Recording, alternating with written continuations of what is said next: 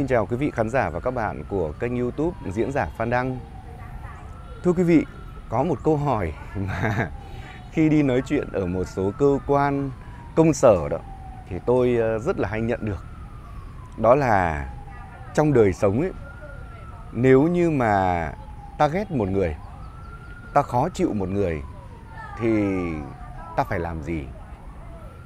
À, có những người họ nói rằng là họ rất ghét cái người đó. Nhưng mà người đó lại là đồng nghiệp ở ngay trong cùng một phòng. Và đôi khi á, họ đến cổng cơ quan mà vô tình đi vào cái thang máy.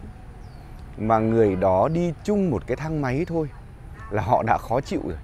Là cả một cái buổi sáng không làm được một cái gì cả. Thế rồi có người thì lại bảo rằng là mình rất khó chịu với một người mà người đấy lại ở rất gần mình. Uhm, cứ một hai ngày là phải chạm mặt. Và đời sống nó rất là bức bối. Mà người ta nói là ghét của nào trời trao của ấy. Cho nên là người ta bảo rằng là có cái cách gì ở trong tâm lý học đó, để mà mình bớt khó chịu. Thôi thì mình cũng chưa dám nghĩ ngay đến sự dễ chịu. Nhưng mà bớt khó chịu khi phải nghĩ đến cái người mình ghét rồi đặc biệt lại phải chạm mặt cái người mình ghét. Rồi lại phải làm việc cùng phòng cái người mình ghét. Mà trong công sở cơ quan đặc biệt là cơ quan nhà nước đó mà lại chung một dự án chung một cái à, công việc cộng đồng nữa của cơ quan đoàn thể thì họ nói là rất khó chịu rất khó chịu. Và họ biết rõ là khó chịu như vậy là ảnh hưởng đến thứ nhất là chất lượng công việc làm việc với người mình ghét thì đương nhiên chất lượng công việc là không tốt. Và khó chịu thứ hai đó là ảnh hưởng đến chính tâm trạng của họ.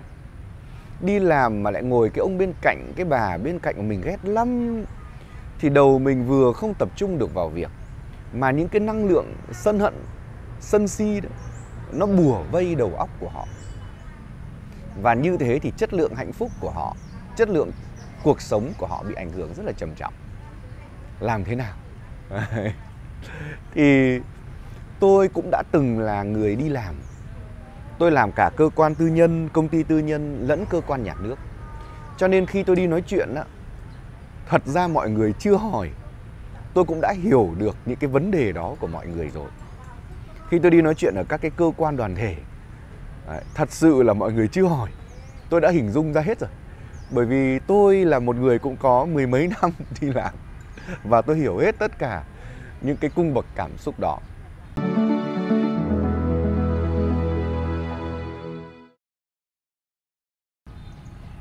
Thưa quý vị, trước những cái người mà mình ờ, không ưa, mình khó chịu hay nói thẳng ra là mình ghét như vậy đó thì một bài thiền tâm từ lúc đó là rất quan trọng. Bài thiền tâm từ là gì?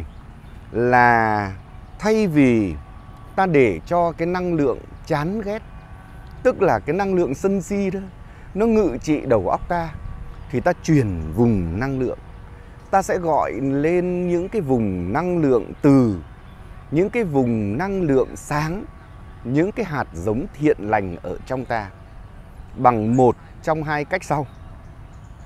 Cách thứ nhất đó là bạn nghĩ đến cái người bạn ghét bạn nghĩ đến cái người mà bạn không ưa đó, sau đó thì à, bạn có thể à, thực hành một cái bài thiền như thế này. Tôi mong những điều hạnh phúc cho người ấy.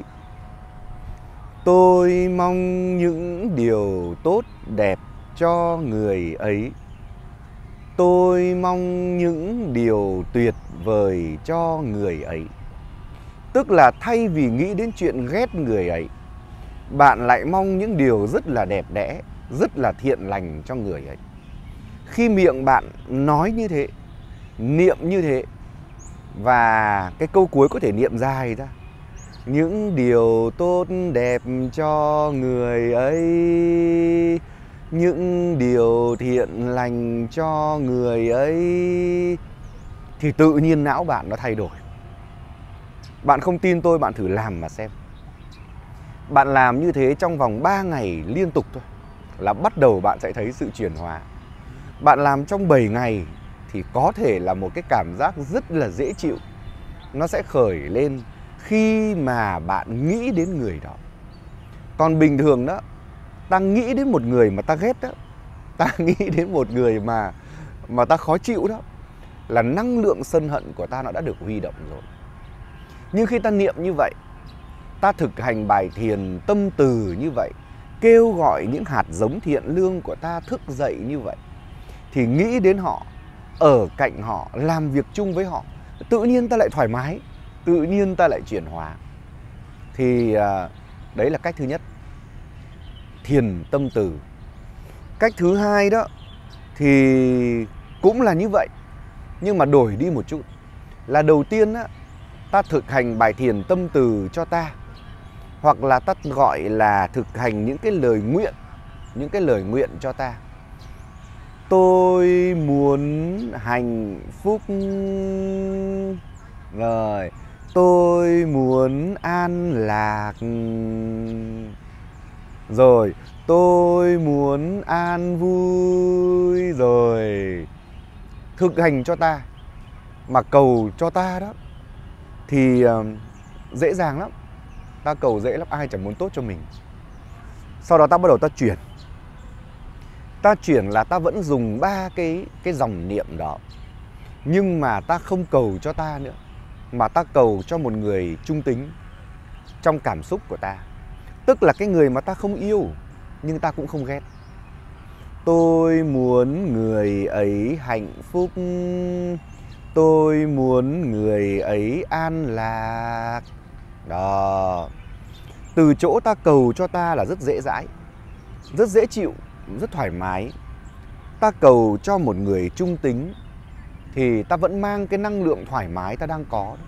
Cái đà đó để ta niệm thì nó vẫn là dễ. Và hai cái dễ đó, ta có một cái đà rất là mạnh rồi. Thì ta bắt đầu mới nghĩ đến cái người ta ghét. Bắt đầu mới nghĩ đến cái người mà ta không yêu, ta khó chịu. Ví dụ cái người tên là phương đi, tôi lấy ví dụ như vậy. Thì ta có thể niệm rằng là, tôi nguyện cho anh phương hạnh phúc tôi nguyện cho anh phương an lạc, hoặc là tôi mong chị phương hạnh phúc. Tôi mong chị phương an lạc. Đó, tức là ta sẽ có ba cấp độ dịch chuyển. Vẫn là cái lời niệm đó, vẫn là cái nội dung bài thiền đó, nhưng ta sẽ đi từ ta. Ta đến một người trung tính rồi, ta đến cái đối tượng mà ta không ưa. Mọi thứ nó chuyển hóa rất là nhanh. Còn nếu ta không thực hiện những cái bài thiền mang tính chất từ tâm này, thì cứ chỉ cần nghĩ đến người đó thôi là những hạt giống sân hận trong ta nó được vân tập. Mà nó đã được vân tập đó, ta khổ chưa? Người kia khổ hay không chưa biết, nhưng chắc chắn là trong đầu ta khổ chưa? Thì đây là một cách thiền nơi công sở, thiền nơi cơ quan.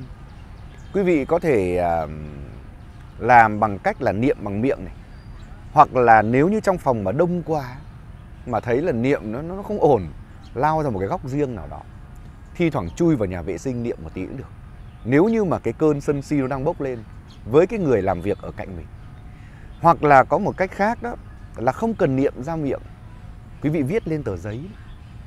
Viết lên tờ giấy đó.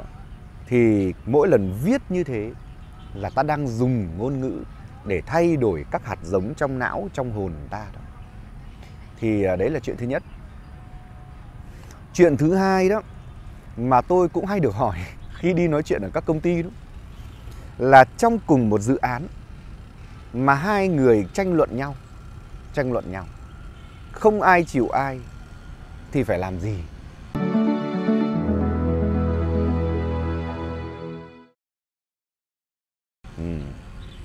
Ngày xưa là tôi cũng làm dự án nhiều lắm.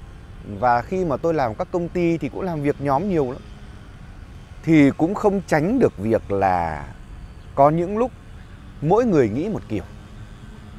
Mà thông thường đó, với những người cái tôi cao đó, là họ luôn luôn nghĩ mình đúng. Họ luôn luôn nghĩ mình đúng. Ta cũng vậy. Nếu cái tôi của ta chưa được trị liệu, ta cũng nghĩ ta đúng mà.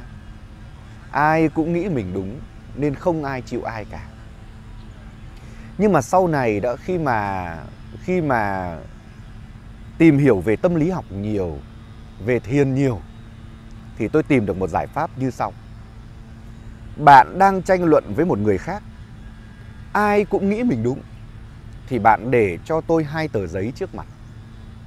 Tờ giấy thứ nhất, bạn sẽ ghi là, tôi đúng 100%.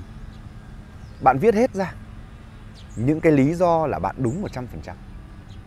Sau đó bạn lại nhìn sang tờ giấy thứ hai và bạn sẽ viết là người kia đúng 100%. Và não bạn phải vân tập, phải huy động để đưa ra tất cả các lý do để người kia đúng 100%. Cái việc ghi này rất quan trọng. Uhm, không ghi, không ý thức, không vân tập như vậy đâu thì mình chỉ nhìn được cái góc nhìn của mình thôi và không thông cảm cho người khác đâu. Nhưng khi mà bạn bắt não của mình nó phải nghĩ cái điều mà có thể là mình không thích thì tự nhiên bạn lại nhìn được vấn đề từ góc độ của người khác.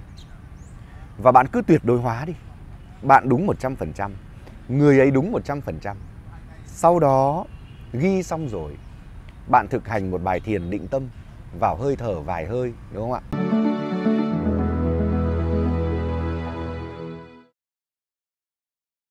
Bạn thực hành bài thiền định tâm vào hơi thở vài hơi, rồi bạn đọc lại hai tờ giấy đó. Cái lúc mà bạn đọc lại hai tờ giấy đó đó, nơi mà bạn đúng 100% và người kia cũng đúng 100%, bạn sẽ có một góc nhìn nhiều chiều. Và sau bài thiền định tâm nữa, lòng bạn tĩnh lại thì tự nhiên cái tôi của mình nó giảm hẳn xuống và vấn đề sẽ được giải quyết. Đó. Thì đấy là hai cái chuyện mà tôi nghĩ rằng ờ, mọi người thường gặp lắm khi đi làm. Chuyện thứ nhất là phải ờ, làm cạnh người mình ghét. Mình không thích. chuyện thứ hai là phải ờ, tranh luận với một người mà cả mình và người đó đều nghĩ là ta đúng. Thì tôi xin tặng các bạn một số cái giải pháp như vậy. Và tôi có lẽ là sẽ làm thêm một số cái chương trình kiểu như thế này để mà giải quyết cái văn hóa làm việc nơi công sở. Làm sao cho mọi người có thể thoải mái nhất từ trong tâm của mình. Với những người mà hay sân si với mình đó, hay đố kỵ với mình đó thì ta sẽ thực hành biện pháp nào? Xin ờ, hẹn gặp lại quý vị vào số tới trong cái series mà tôi nói về việc cải thiện cải thiện cái chất lượng tâm thức khi ta làm việc ở cơ quan, ở công sở. Xin chào và hẹn gặp trở lại quý vị vào những chương trình tới đây.